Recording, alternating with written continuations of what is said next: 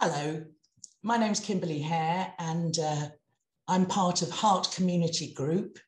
Um, and I'm just filming this little introduction by way of context to the call that follows with Professor Rupert Read.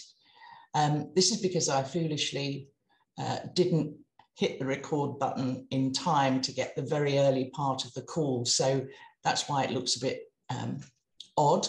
Uh, but it's important, I think, to give you some context.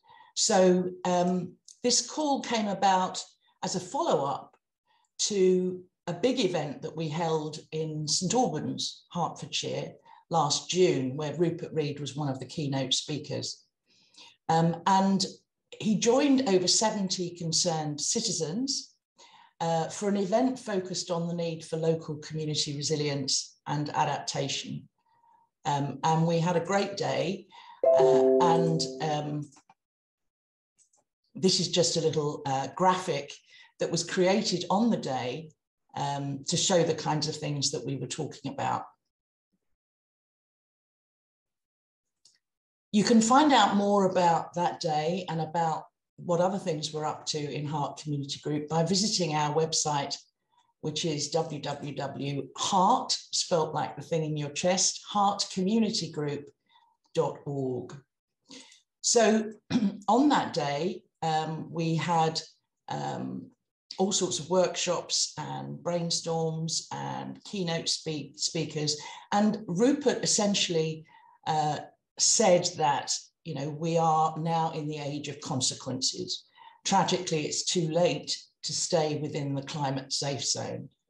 Um, and Daisy Cooper, who was also there, who's the MP for St Albans, very much agreed and promised to try and do more in Parliament and at a local level on adaptation and local resilience.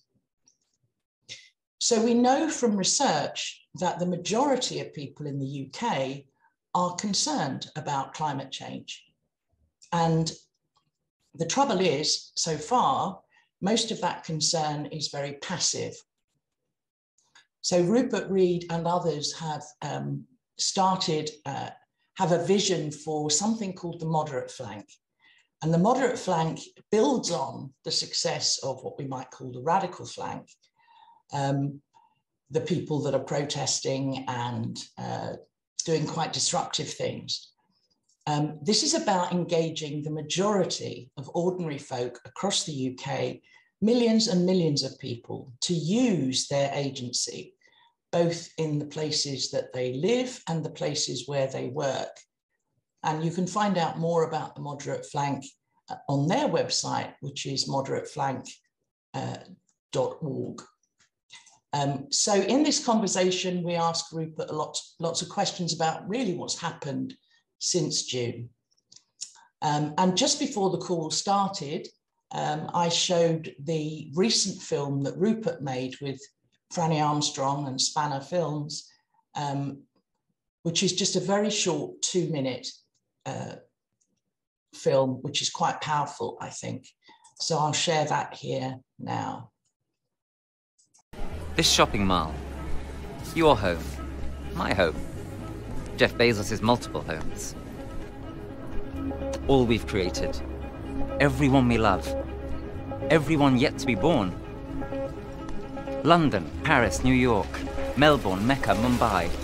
Everywhere and everyone is now on the climate front line. We've put too much pressure on the living systems on which we depend. The house of cards is starting to fall. And so, like so many before it, our civilization is unraveling. Yes, we could have prevented this had we acted decisively decades ago. And no doubt the reasons why we didn't will be debated in future by students and law courts, if there are any. What we can still control, to an extent, is how hard the landing is. How many people survive? How many other species get taken out? What parts of the globe remain habitable? If we dare do we dare to accept that we, the most intelligent species ever to have evolved, have made the most colossal mistake in all geological time?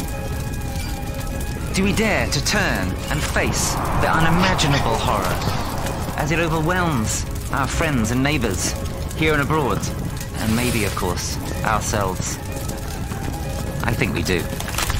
I think we can decide to put our energies, our intelligence, and our famous human spirit into ensuring that the ending of this civilization is as transformational as possible. Let's save as many people. Let's restore as many habitats. Let's rebuild what's worth rebuilding. And while we're doing so, let's collectively rethink what it's all about. So that if we get another chance, we can do things much, much better. Ashes are now inevitable. What grows out of them? Well, that's all to play for.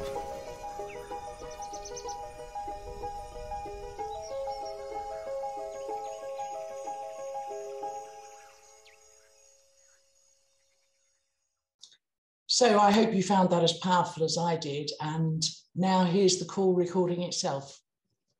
Thank you. I'm just going to draw attention to a few key uh, things, a few key developments since uh, last summer, um, so that we can appraise more accurately uh, where we stand uh, now compared to then.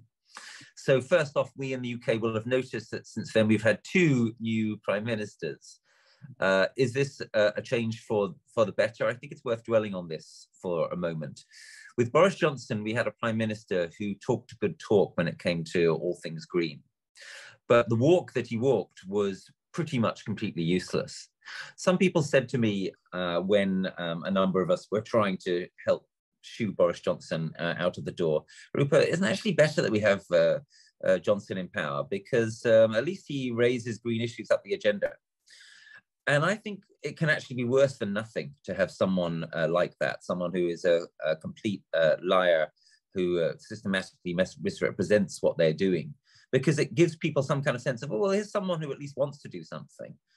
Uh, it's actually, in some ways, better to have um, our enemies be red in, in tooth and claw. And that's what we got under Liz Truss. Uh, with Liz Truss, the, the veil was, uh, was stripped away. There was no pretense uh, it was going to be an agenda of uh, scrapping everything in the helter-skelter uh, pursuit of any possible more um, economic growth that could be squeezed out of the uh, squeezed out of the system. Uh, do turn your microphone off, please, if it's uh, if it's on. Uh, and uh, well, um, Truss in her brief reign actually did rouse some real opposition that hadn't been roused before. Most notably, the old moderate flank got mobilized. I'm talking about people like the World Wildlife Fund, the National Trust, uh, most strikingly of all, the RSPB. Uh, and this is a positive development that we need to um, build on uh, and continue to seed uh, now because these threats have not gone away. Uh, Rishi Sunak, uh, the latest Prime Minister, is not as out and out. do please, everyone, turn off your your um, volume.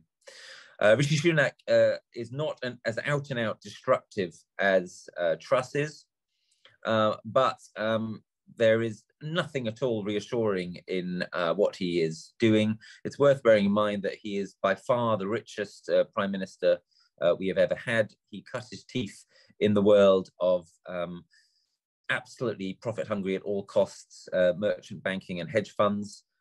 he is not someone who is at all interested uh, in matters green or ecological. Uh, he is no friend to our agenda uh, at all. Uh, and that is why we are continuing to see, um, well, depraved is quite a good word for it, I think, depraved uh, actions from this government in relation to the matters that concern us and should concern everybody. As Kim says, a majority, I'll come back to that point in a moment.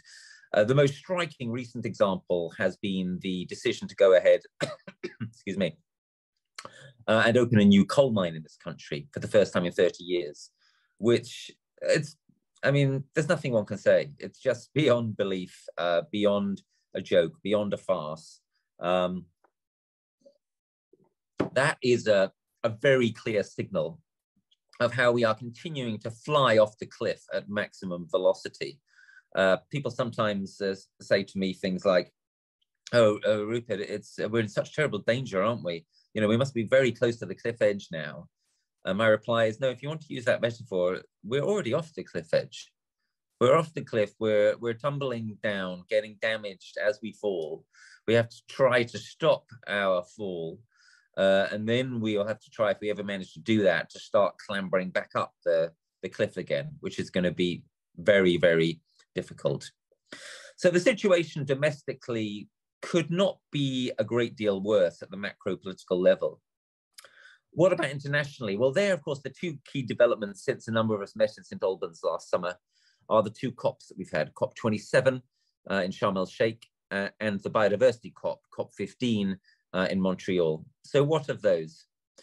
Well, COP27 was notable for the, the opening of a loss and damage fund.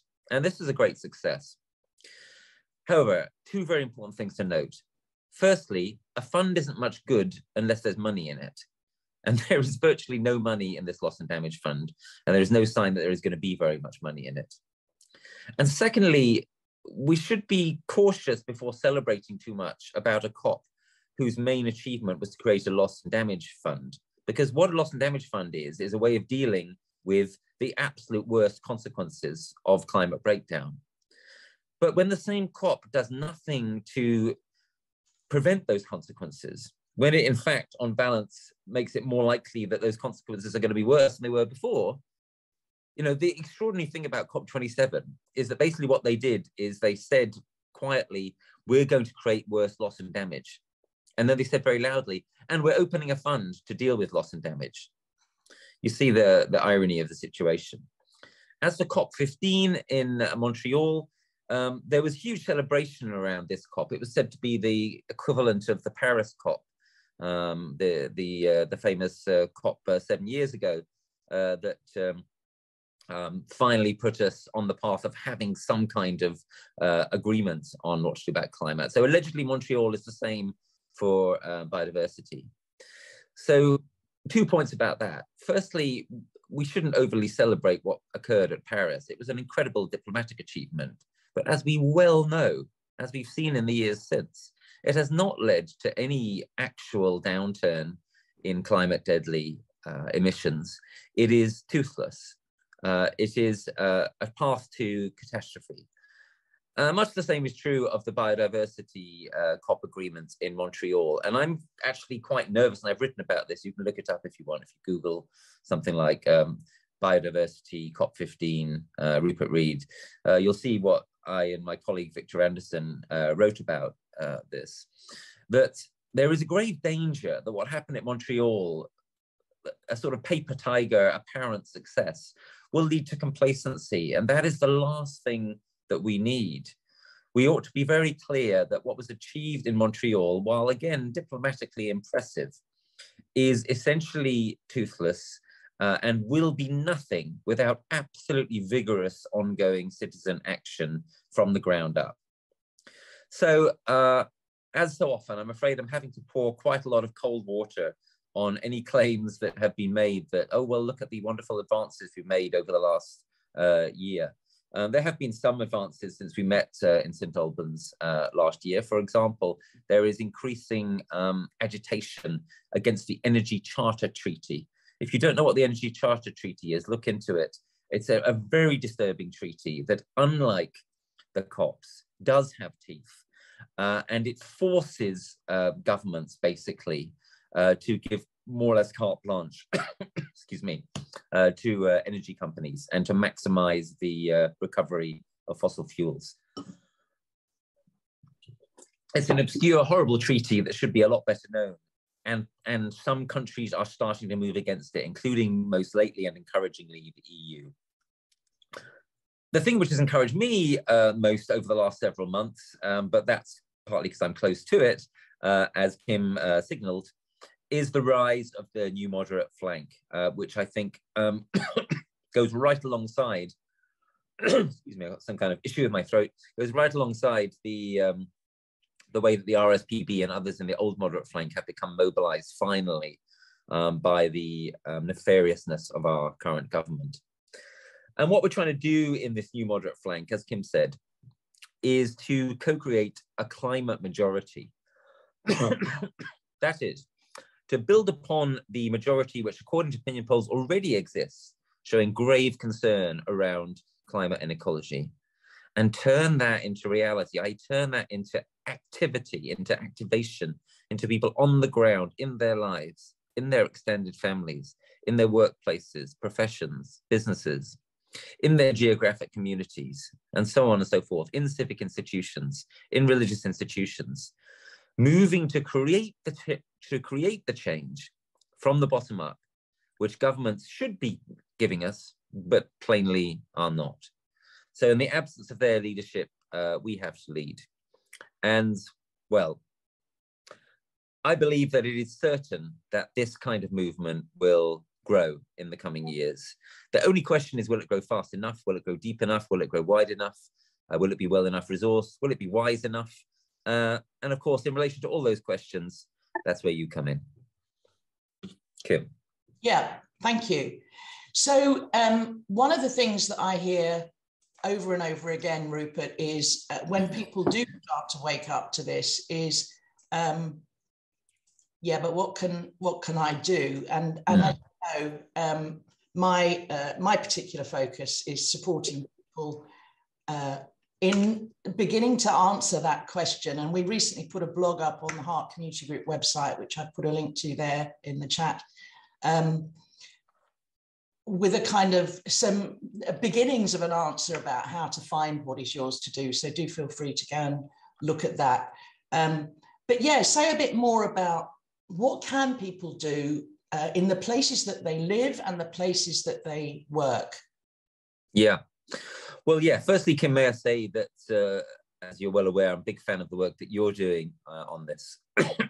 it's a very important um, endeavor to uh, to get people to look at this uh, um, and take it seriously in their own lives.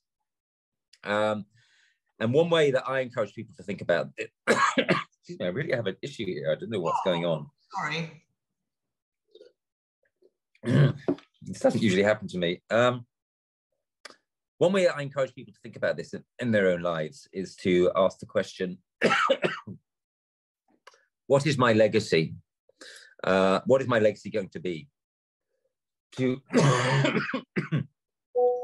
to look back on your own uh, life um, from the perspective of now, gosh, or from the imagined perspective of your uh, deathbed, and ask yourself, what will I have left behind? And um, that's a question that ultimately none of us can uh, can avoid. You know what, Kim? I'm going to invite you to say a bit more about this because I need to recover my voice. Yeah, you do. And also, let me ask the rest of group. You can, from now, please, um, start writing uh, questions in the chat. I see some of you already started to do that. So please, just while Rupert is recovering, um, what, what questions do you have of Rupert, either about the whole meta crisis, the predicament, and indeed about the new emerging uh, moderate flank and what's actually happening uh, on there. Um, and um, I, I, know certainly that from the people that I speak with that there is a real yearning, a growing yearning, a longing for more purpose, more meaning uh, in our lives. Um, and um, so I think I think there is a real hunger to begin to actually take some action. And the difference between uh, I, I, would say there's a distinction between activism, which many uh, non-radical people are kind of um, frightened of, and action. So you don't have to be an activist to take action. How are you doing, Rupert? Well, uh, a little better. Maybe I'll try speaking a bit quieter and see if that uh, helps me to not start coughing again. Um, yeah, absolutely. Uh, if people want to dive into this uh, this inquiry around the concept of activism, then it's a, great idea to look at the work of Bayo Akomolafe, uh, which is not hard to find now.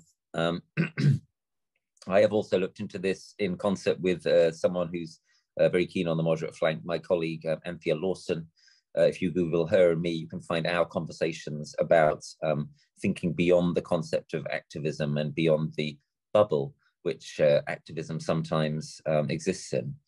Uh, I think that it is certain that in the 2020s there will be more activism, but I also think it is certain that in the 2020s there will be a lot more action and activation, which goes beyond activism, yeah. which is not which is not corralled or categorized as um, activism.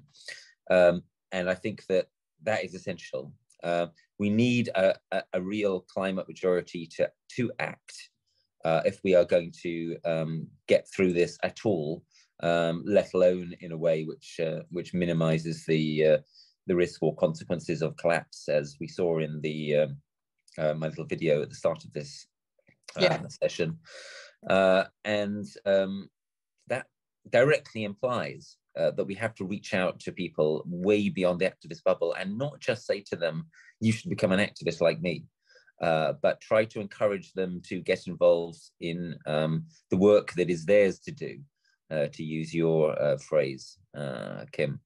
Yeah. Uh, and yeah, that's a central task of the of the emerging moderate flank or climate majority, and makes it quite different in its approach to what the radical flank uh, has offered us in the in the last few years, yeah. uh, as per um, um, Extinction Rebellion, for example, which I was very proud to have helped launch, and uh, we changed um, this country and to some extent the world um, permanently, it would seem, uh, in 2019. But what I realized in 2020 is that um, XR is never going to appeal to uh, the majority. And I think XR and uh, the school strikers and so on, they actually did quite a lot of their job in 2019. They raised the alarm uh, in a very effective way. Uh, eventually, one has to move on beyond just raising the alarm. Uh, when the fire alarm goes off, um, sometimes you need to ring it another time and draw attention to the fire a bit more. But eventually, the fire brigade has to go in, uh, and fire brigades should be run by government. Um, but in the absence of government fire brigades, we need volunteer fire brigades. Um, and that's what we are, or that's what we need to become. Uh, volunteer fire, brigade, fire brigades all across the piece. Great. Thank you so much, Rupert. Well, I've got one more question, which I'm going to save to the end of time. But for now, let's go to questions from the audience. Um, Annabelle or Gilly? Sure. Thanks, Kim.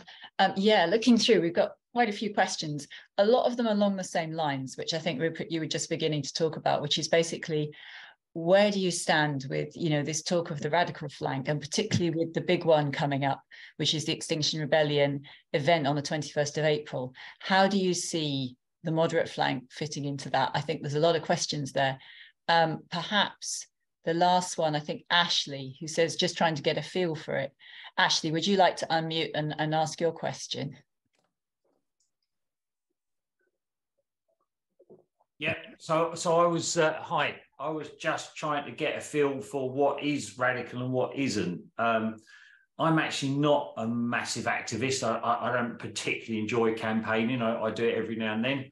Um, but I know that XR this year have sort of said we're going to have a less antagonistic approach. We, you know, we're not going to go away, but um, we, so April the 21st, they've got the big do in London, but they want it to be very peaceful and just a you know everyone to turn up to show they care. That's my understanding of it. Is that radical or is that not radical? Is that is that you know what, what what where does that sit in the scheme of things? And is that a really stupid question to ask in the first place? I don't know.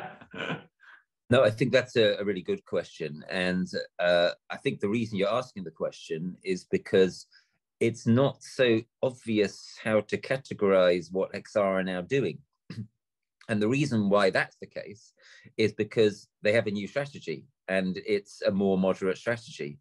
Um, so, in other words, XR, which was defining of the new um, radical flank uh, when it was when it was created, you know, when we created XR in 2018, it was deliberately intended, absolutely deliberately, explicitly intended in terms of social movement theory as a radical flank to the existing environmental movement. That is, for example, why one of XR's earliest actions was the controversial, eye catching, eyebrow raising uh, occupation of Greenpeace HQ to, to make the point um, uh, we are going to be more radical than, than thou, as it were.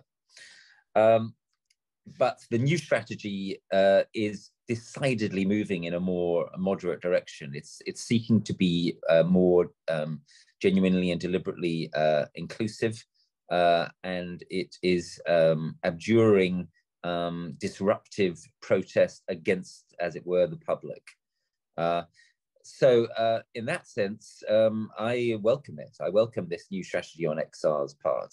Um, I think this new strategy on their part is, if you will, a sort of um, positive gesture in the direction um, of the new uh, moderate flank.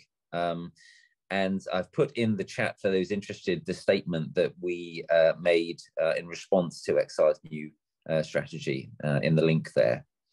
Um, so yeah, I welcome it. Um, uh, I will probably be there uh, myself, um, and I'm sure many others who are, who are not in favour of um, um further protests that disrupt the public will be there um, with XR on April the 21st.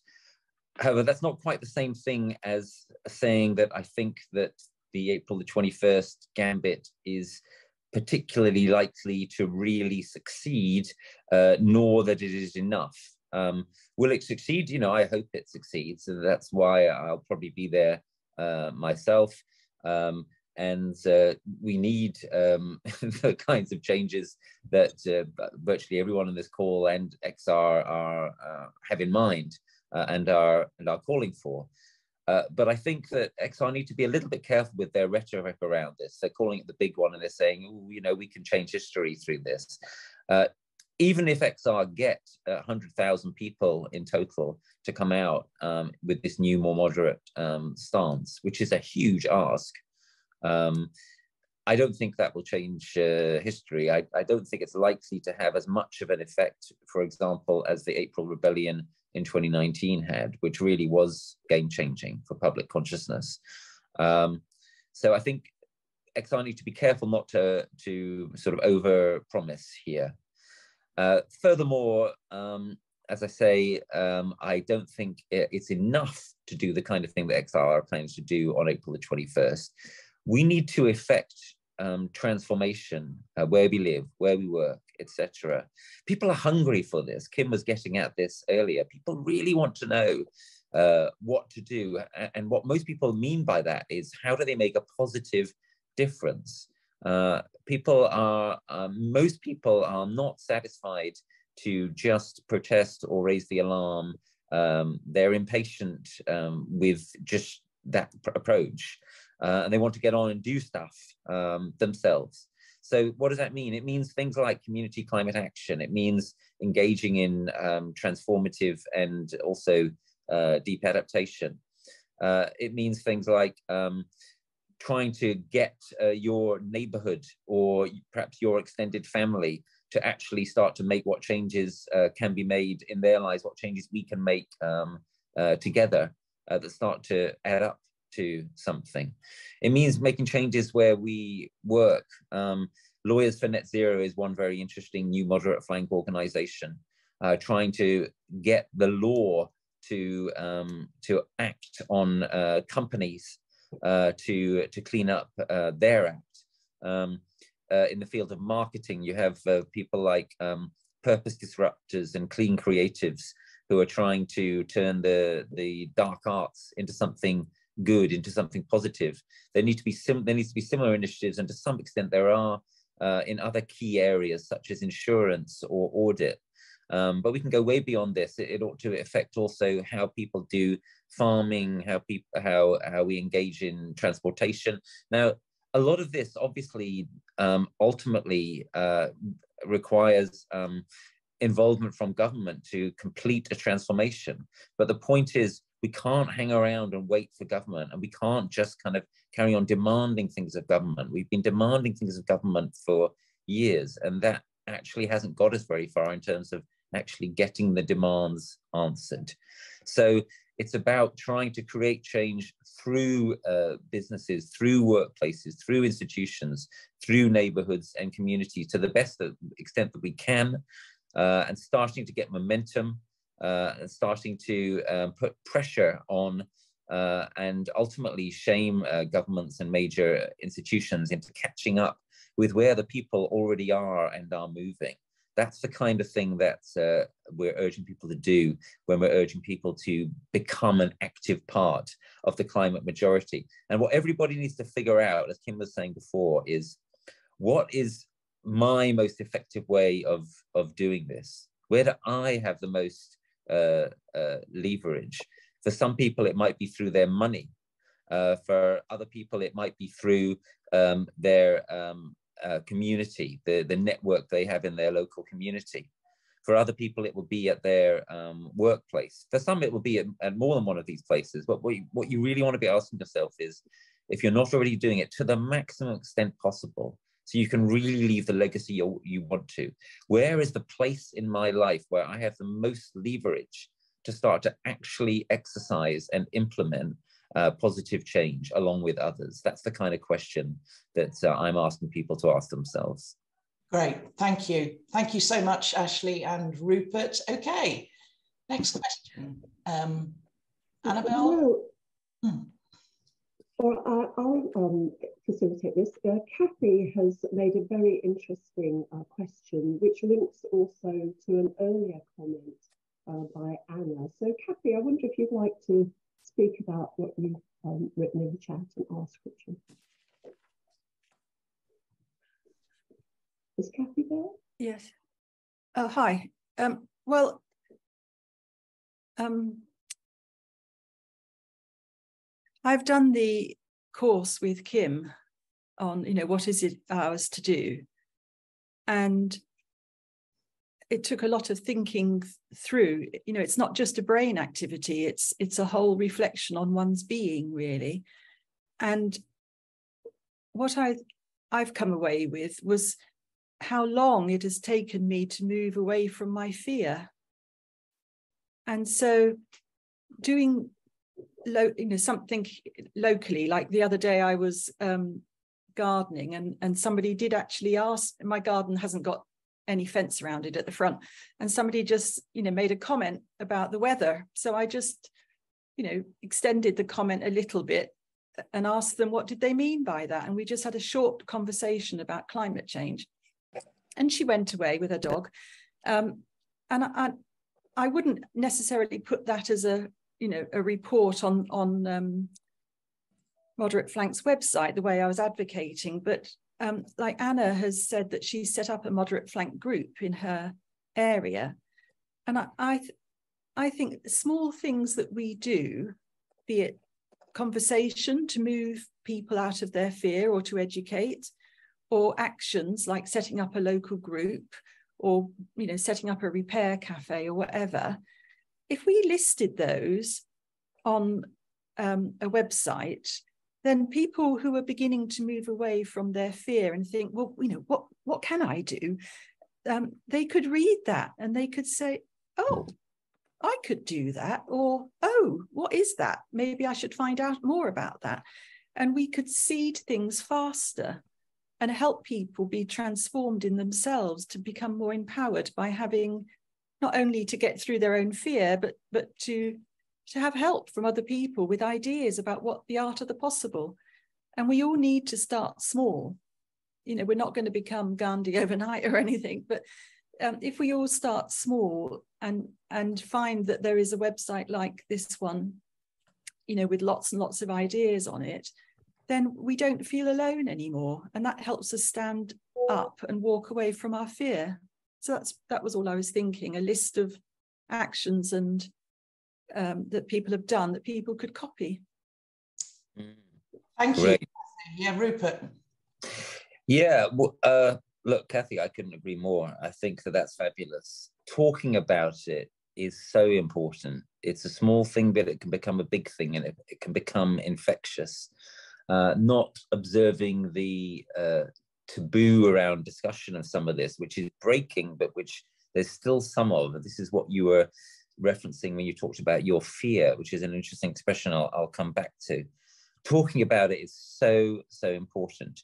You mentioned repair cafes, brilliant. You mentioned creating local groups. Yeah, obviously super important.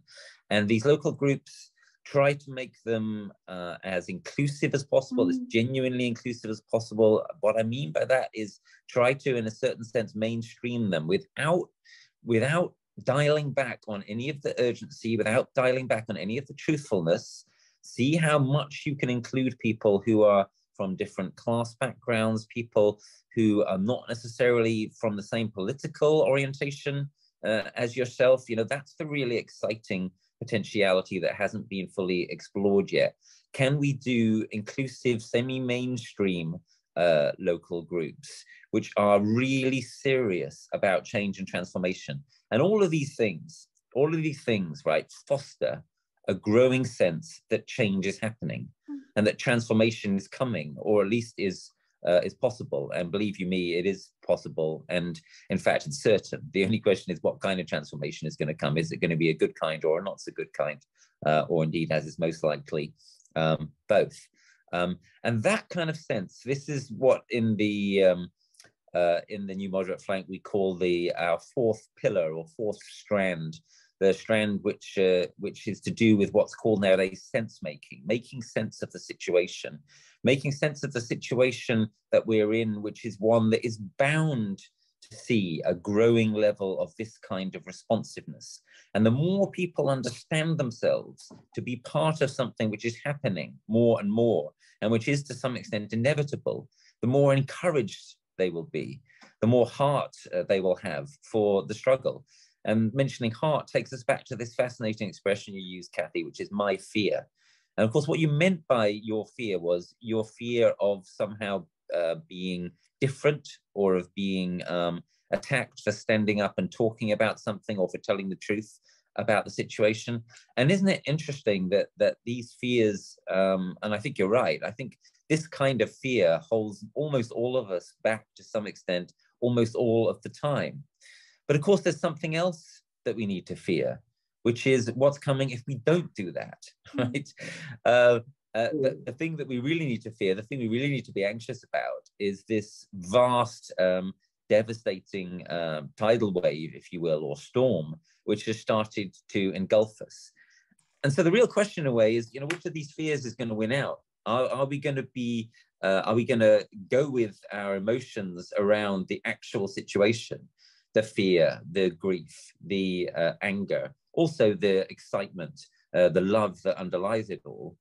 Or is the fear that's going to be most important to us the fear of um, being attacked, of being different, of uh, wasting our time, of not um, uh, uh, being regarded as normal, etc.? And when you put those two fears side by side, you know, it's pretty clear which one is more important, right? Is it more important to face the great challenge of our age and the greatest challenge that human beings have ever faced? Or is it more important to be to uh, attend to and be uh, nervous of um, things like, uh, will my neighbor tut tut if I start talking about climate? Um, so hopefully when one sees it, when one starts to see it as clearly as that, when one sees one's fear on the on the on the one hand holding one back, and then the the vast kind of subterranean but emerging fear and anxiety and, and grief and terror and so on on the other hand about the actual situation that's the one to that's the one to go with. That's the one to really uh, attend to uh, and take seriously. And when we do then we will do exactly the kind of things you were talking about kathy. We will talk about it. We will get serious about institutions like repair cafes. We will create really effective unafraid if you will courageous uh, local groups. We will become part of this uh, of this absolutely essential uh, and epochal transformation, um, which is at, at, best going to potentially going to save us from collapse, and at least is going to give us some kind of compass as we uh, try to go through the very challenging times that are coming. Brilliant. Thanks, Rupert. Kathy, you had your hand up. Is it a quick one? Because we well, have other questions. Thank you, Kim. I, I just wanted to say um, I agree with everything that Rupert said, but um, you know, the, a small interchange of dialogue does does not have to be um, threatening. I've discovered. Yeah, you no, know, you, you, no, right. I know, I know, you know Absolutely. that, Rupert. But you mm. know, I mean, my my thought was, you know, if I don't know the right facts or whatever, and like, um, but actually, just a tiny interaction of the like the lady with the dog and you know, talking to me in my garden i have Yes. no idea how that's going to seed in her she might Mm, ignore it yeah. or she might it might seed into something else and and i just feel that um to get over fear is is is transformation in its own right you know second by Very true. second and and we need to do it compassionately for ourselves as well as for other, everybody else we interact with Oh, beautifully put. So- Thank you. Yeah, and I think Sorry, I what's just- what's so crucial about what you've just said is that um, if one does feel a bit of that fear, and we and we all feel it, you know, might you might think something like, uh, oh, you know, Rupert Read, he's gone on all these TV shows, he does all these speeches all the time, you know, he's obviously overcome his fear. Not at all. Nobody overcomes their fear of these kinds of things except psychopaths. What one learns is is not to be afraid of one's fear, but to make uh, friends with it. And what one learns is that there are things that are more important uh, than it. And what one learns is how to, as you say, Kathy, go sort of one step at a time. So if you are feeling kind of afraid, nervous, and you know, what is my neighbor going to think? Well, you know, just have a little go and maybe do it in a relatively kind of safe way, in a relatively safe situation to a relatively limited extent. And what you'll nearly always find is actually things don't work out nearly as badly as you'd Yes. feared. And that encourages you to go a little bit further the next time and so on. Great, Thank thank you. You. Okay, Annabelle, Gilly, next question. Um, I see, Kate, would you like to ask your question about um, which organisations to network with? Yeah, sure. Sorry, something's going wrong with my videos, but it's um, weird there. Yeah, so obviously we you talk um, a lot about big um, organisations like Lawyers for Net Zero and things like that. So kind of the other end of the scale of what we can do in our communities and our workplaces if we're not working for big national companies. So are there any kind of industries, organisations that you you, you really want to get into? You'd really like to see them coming out um, in favour of the new moderate flank? who's going to have the most impact in your view and you know then we can try and sort of network and everyone do their bit for that Well, I can talk, I can answer that question, and I, and I will say something in response to that question, uh, for which many thanks, Kate. But look, I do want to start by just sort of turning it around a bit and say um, this is not just about sort of um, where objectively that are the most important places uh, for change to occur. It's also it starts from the other end of where are you and where do you have capability or capacity to change. Um, so and and you if you're someone who doesn't work then obviously you're not going to try to change things through your workplace uh, and if you're somebody who works in a situation i don't know maybe you're in a, a call center or something where you find it very hard to see how you could get any leverage to make any change well you know fair enough you know maybe you'd be better off spending your time on say um, action uh, in the local community to make uh, uh, change. Um, but you know many people uh, have some kind of capacity i believe to effect change through where they work so let me give uh, one or two uh, examples. Um, uh, teachers um, uh, i think uh, obviously um, have a, a, kind of position of uh, of power which needs to be used very kind of judiciously and responsibly. And of course there are all sorts of constraints on it but there are all sorts of possibilities also. I'm just remembering back to my childhood. I remember one or two teachers who very much encouraged me to develop an ecological sensibility where most others perhaps didn't. Um, and you know that kind of thing is a place to start. Uh, I work part time uh, in a university as an academic. Um, there is enormous capacity and potential for academics to really organize themselves and as academics, as researchers, as teachers, as to some extent role models, uh, really make a difference. And most, and it hasn't really been done yet. There's that's a huge missing opportunity there. Um, kind of coming more directly to what you were getting at, I think, in your question about where are the biggest opportunities of all. Well, I'll mention a couple other kind of areas where I'm starting to work with people that I'm quite excited about. So uh, I've been speaking recently to one or two people from the acting world. Uh, and I think that there is a, a huge responsibility uh, and opportunity for anyone involved in the creative arts. Um, that the greatest opportunity is this is a story that needs to be told. And that's, of course, what I was trying to do in my little video that we watched at the start of this session, uh, Out of the Ashes. Uh, is to is to in a microscopic way uh, tell that story of the different possible futures that are opening up before us And different versions of that need to be done again and again and again now. Uh, in film, on radio, in TV, uh, in music, etc. And it's hardly been tried yet. There have been some endeavors in literature and in film, virtually none in TV, which is really a shameful uh, abnegation I'm seeing, in, I'm seeing, more in, music actually, just recently. Yeah, it's coming through. Uh, it's coming through in some interesting ways in music. I'd agree with with that, and this is clearly a coming trend. But anyone who has any involvement or, or, leverage in that field, I would urge you, you know, do anything you can to to make movement happen further and faster in that field. Tomorrow, I'm meeting from um, the. Uh, I'm meeting with someone uh, in the in the healthcare field who is trying to green um, the, the healthcare professions. These kind of moderate flank um, endeavors are springing up all over the place. Uh, we are supporting some directly through the moderate flank incubator. But part of what we're saying is, look, this is happening already and it's happening all over the place and it's happening spontaneously. And that's really exciting. So what needs to be done is people need to find their place in it uh, lend their weight to it, uh, uh, however, whatever form that takes. As I say, it could be time, money, uh, whatever, but it needs to be significant. Uh, and uh, and where um, what is possible and, and, what is necessary is not happening, is not being organized yet. You know, you should do it yourselves. In other words, if there's, if say you're, um, say you're, um, you know, say you're a lawyer, you know, you may think, oh well, I'll join Lawyers for Net Zero and I'll, I'll do it through that through there. But if in your profession or whatever it is, there isn't something like that, then consider being the person who makes it happen. You know, that would be, that's a really amazing intervention. If you can actually organize or create or co-create something which then starts to really become something that, that works virally or works at scale. Great. Great, thanks. Thank you very much. And sorry, sorry, Kate I'm just loving what's coming out in football at the moment with Reading, and mm, yes, really, really, good to see.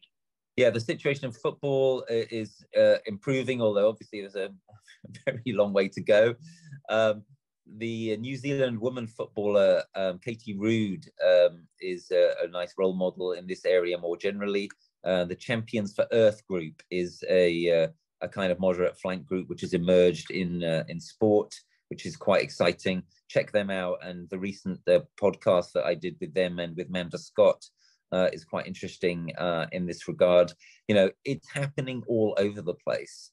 Uh, and what we need to do is to find our place in it and recognize that that this is a powerful reason for a kind of active hope. The fact that it is happening all over the place and that it's growing, uh, and that uh, and that there is room here for everybody to make a real and significant difference. Brilliant. Thanks, Rupert. I'm going to choose the last question because um, it's a doozy uh, and it's from Ed, Ed Jarvis. Ed, do you want to unmute yourself and, and ask your question that you wrote? Yeah, sure. So I've asked a few questions.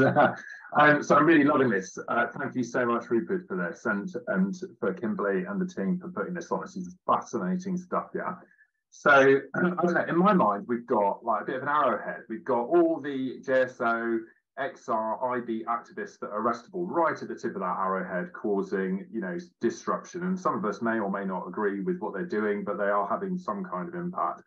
There's a number of people supporting them in those organisations who perhaps aren't arrestable, and then behind that, there's not much, there's not a huge amount going on. And this is where I think moderate flank comes in because it's mm. about mobilizing all those people who don't want to put a D lock on or get glued on or all the rest of it. It's the it's the people who don't want to get involved in criminal activity. It gives them an opportunity to get involved and get mobilized. And I suppose my question is that we've got we've got um, a whole world of micro things that we can get on with. And I don't mean to use the word micro in a disparaging way whatsoever. Some of the stuff that we've heard about today has been absolutely awesome, and we need to do it and it is empowering and it does keep, give people a sense that they are doing something. But there are some things that are just out of our control, like fossil fuel licenses, for example. We've got we've got a government that's hell bent on digging back into the ground to get energy rather than thinking about all the alternatives. So I guess my question is, how do we capture the energy that comes from the moderate flank to do all those wonderful things in our workplace and locally and, and in our regions and support, even if we don't necessarily want to glue on or get de-locked onto anything, how do we work with that radical flank to impact the really big pieces of carbon and greenhouse gas emissions that we've got to reduce? So the fossil fuel licenses in particular, the 26 billion pounds of road building, the uh, the HS2s, you know, and changing the government's mindset because we've got a mindset issue right in the centre of government, right in the centre of our establishment. How do we work together to get to that outcome? Mm, fascinating, thank you. Huge and complex question. You know, I could. Uh, you took a long time asking it, but I could take way, way longer answering it, uh, which I don't exactly have uh, have time for. But so let me let me do my best in uh, in in a succinct way. So look, this really comes down to what one's theory of change is. And nobody knows for sure uh, which theory of change uh, is correct. But there are things that we can say and things that we can uh, learn. And it is so important that we learn. Uh, that we learn from things that go right uh, and that we learn from things that go wrong. And that we recognize that when things go right and we want to learn from them, doesn't necessarily mean we can just repeat them. So, for example, um, it was clear that what XR did in April 2019 uh, basically worked, and that's something to learn from. However, what XR did after April 2019, to some extent, was simply try to repeat what it had already done. Um, I made the argument that XR should segue more towards targeting some of the root causes. Um, so, um, uh, the oil industry, big finance, um, airports used by elites, uh, etc. Uh, my argument had some effect within XR, but only some.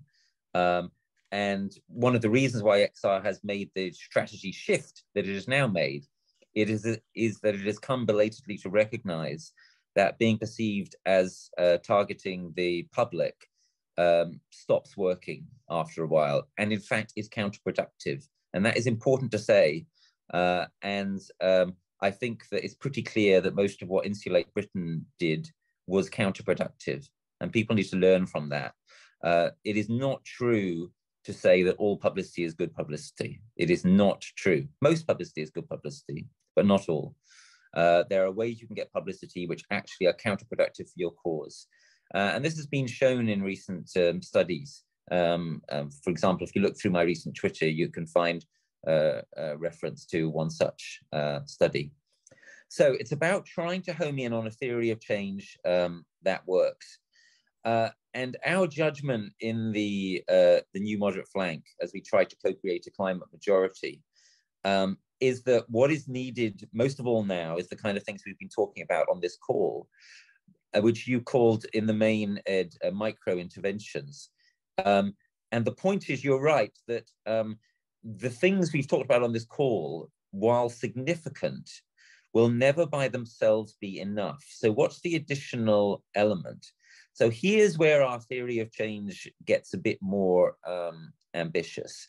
What we believe is that all of this stuff that we're trying to do in the emerging moderate flank, um, the end game of it is cultural transformation and in fact civilizational uh, transformational ness. Um, what do we think is the vector of that? Well, here's quite a bold way to describe it. Um, let's take the the situation of uh, of government politics and elections. We have in power a really terrible um, anti-ecological uh, government, as we started out saying at the start of this call. What are the prospects for replacing that government with a, a better uh, government? Well, they're not great because although it is virtually certain now that this government will be thrown out with extreme prejudice uh, within the next two years, uh, and the probability is that the next prime minister will be Keir Starmer. Um, Labour have said some good things about, for example, um, stopping new oil, but Labour's programme, uh, if it came in as it stands, would absolutely by no means be enough to put us on the path that is necessary.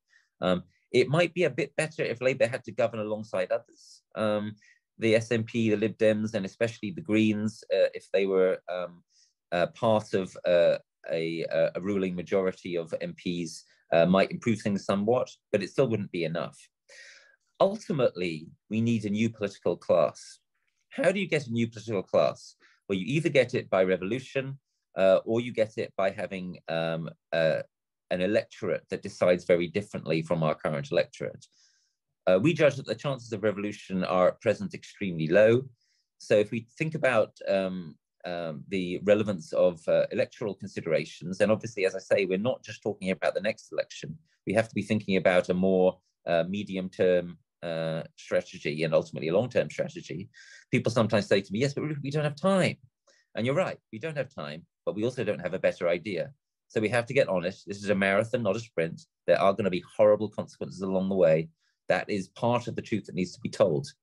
So ultimately, to get a new political class, a, really appropriate way to put it is we need a new electorate. Now, what does that mean? I mean, that sounds like a kind of a joke. What it means is the electorate have to be transformed. Who are the electorate? Well, they're us, right? The citizenry have to be transformed. How do we transform the citizenry? Well, we believe that we transform the citizenry by doing exactly the kind of things that we, we've been speaking about, right? By having all these kind of micro um, interventions and changes and endeavors that ultimately will start to add up to something that works on a meso level and on a, on, on a macro uh, level. So ultimately, if we're going to get where we need to get, we need a new electorate, and we're going to get a new electorate by doing things differently uh, in our um, communities and our, our neighborhoods in our workplaces, our professions, our other institutions. And we're going to gradually change, uh, change ourselves by doing in such a way that eventually, uh, among other things, people will vote uh, and act politically uh, quite differently. That's our theory of change. Uh, and we think that it is a theory which is now more realistic than the theories which are typically used uh, among the radical flank or among the old uh, moderate flank which does not have such bold uh, theories of change at all. Um, so I hope that answers your question, and I hope that's uh, an encouraging way to uh, and an exciting uh, prospect. That's what it's ultimately about, uh, macro scale change. But we don't get there in one, one fell swoop. We have to get there um, by a by a slower, um, more genuinely transformational route. Fantastic. Thank you, Ed. Thank you, Rupert. And uh, we've run right out of time. Um, there are a lot more questions. Uh, what I will do um, after this call is I will share all the links that we've shared in the chat. Um, and, um, and if there are any other questions, um, Rupert, I hope you don't mind. I will, um, yeah, send you send you the the other questions. Yes, Rupert. Yeah, I'm happy to happy with that. I'll do what I can. Can I make one final remark, Kim? Yes, please. Uh, so I just want to leave you with the thought that you know I've given you that kind of bold vision. I want to leave you with the thought that um, I started off with a long time ago of legacy. Um, do repeatedly ask yourself the question what am I going to say when my children or nephews or nieces or whatever look me in the eye in 20 years' time and say, What did you do when there was still time to make a really significant difference to the trajectory of where we're at now? You've got to have a good answer to that question. Uh, if if the answer to that question you give is the kind of thing we've been talking about on this call, great. If you've got a better one, great you've got to have an answer to that question. it, it is a, it is unavoidable. Fantastic. Well, thank you all very much for coming. Thank you especially to Rupert. Um, yeah, and looking forward to how the moderate flank uh, develops and transforms us all. Um, but thank you so much for coming and uh, have a look at the other events coming up uh, on the Heart Community Group website. But really appreciate everybody's time and love Thank you.